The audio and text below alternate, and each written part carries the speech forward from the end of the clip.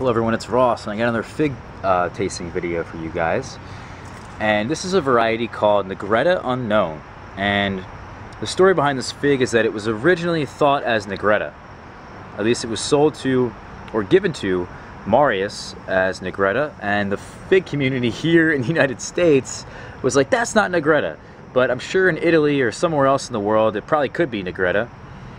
It's just that here in the general consensus of the fig community, it's not Negretta, but it's probably very similar to Negretta, and it's um, thought to be believed as a uh, Violet de Bordeaux type. And this is my first year getting fruit off of it. I can tell you that it behaves like a Violet de Bordeaux. The fruit, the immature fruit kind of looks like a Violet de Bordeaux. The leaf structure kind of looks like a Violet de Bordeaux look here, this leaf is somewhat similar to a Violet de Bordeaux, I guess. You know, maybe, right? Maybe. Kinda, you see it? So, could be. But I'm unconvinced, and the figs I've had so far, this is probably the sixth fig, maybe the fifth fig I harvested off of this tree. Quite small, not similarly sized to a Violet de Bordeaux. Has the neck of a Violet de Bordeaux, the coloring of a Violet de Bordeaux.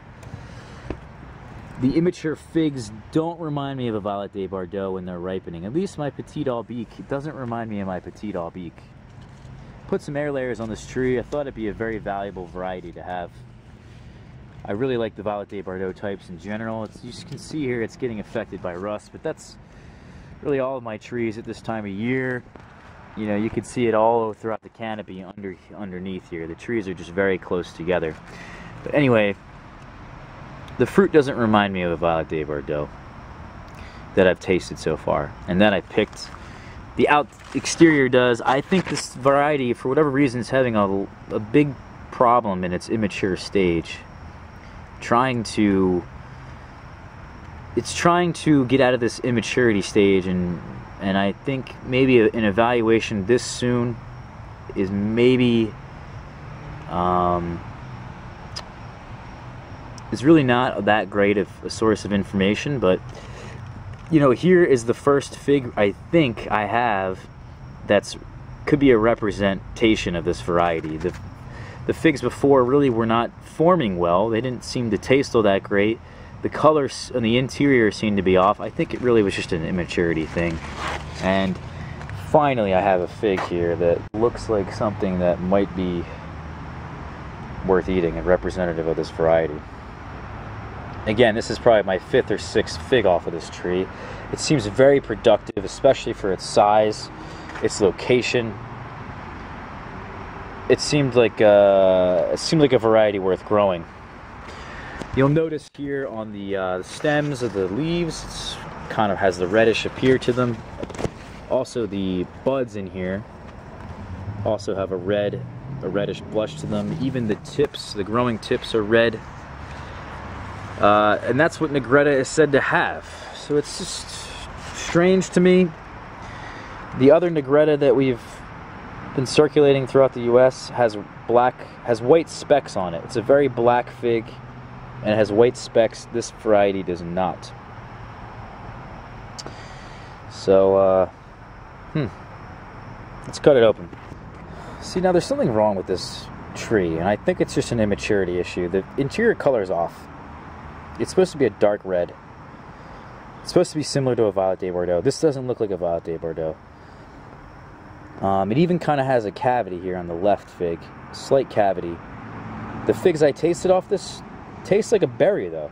What's weird because it doesn't look like it's a berry fig. And I think maybe maybe it just has something to do with the shading of the figs below the tree. You know, all the figs are below the canopy of the tree, not really getting a whole lot of light. I really don't know what the story is here, guys. But uh, let's just try it. And, you know, we're under the assumption this is a first year fig. It's immature, but let's give it try.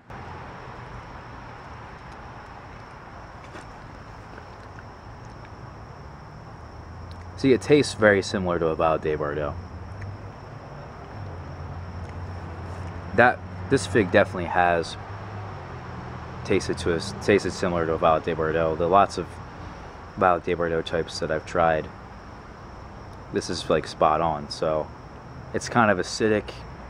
It has a nice berry flavor to it. Pretty jammy. Very jammy. Moist, juicy. Not watery. It has a pretty concentrated flavor. The fig was dried on the tree, so if it doesn't have a concentrated flavor, I don't know what to say. It's not a, it's not a winner at that point. But this fig's a winner. And I can honestly say, I'm going to keep it. I'm going to try it again next year. Obviously, I'm going to have more figs throughout the year, but um, we're going to see what, what the deal is with this tree. And I bet you the next year that the interior color changes and perhaps if I put it in a different location, it'll do better. Um, but overall, Negretta Unknown is a productive variety. Definitely productive. Um, it seems to ripen mid-season. Um, the eyes closed. It's probably a winter here in the Northeast, honestly. If it is a Violet de Bordeaux type, like I think it is, it's definitely a winter here. So that's uh, Negretta Unknown. I'd probably give it some. I'd probably give it a eight out of ten. Um, yeah. So thanks for watching, guys.